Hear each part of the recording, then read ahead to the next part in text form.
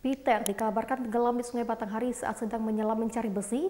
Sampai saat ini tim gabungan Basarnas Jambi masih melakukan pencarian.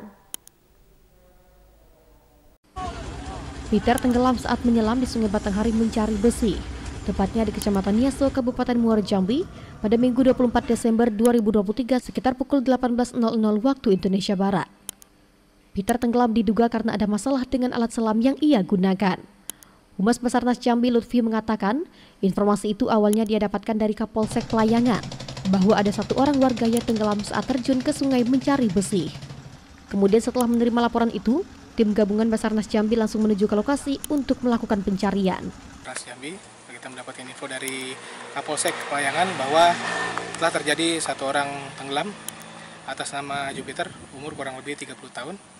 Uh, korban uh, diduga tenggelam pada saat sedang melaksanakan uh, pencarian plat besi di dasar sungai Batanghari.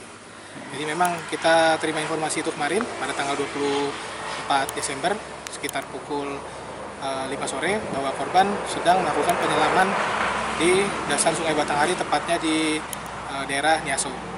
Jadi uh, kita mendapatkan informasi tersebut pada sekitar pukul 7 malam, selanjutnya tim SAR gabungan langsung bergerak menuju lokasi.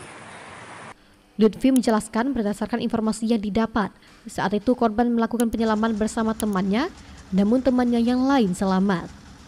Sehingga pencarian terus dilakukan sejak pagi 25 Desember 2023 dengan melibatkan tim SAR gabungan, TNI, polisi, damkar, serta masyarakat setempat.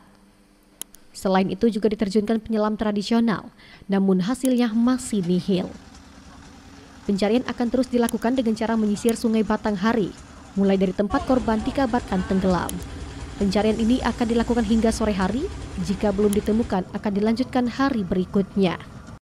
Rudiansyah, Jambi TV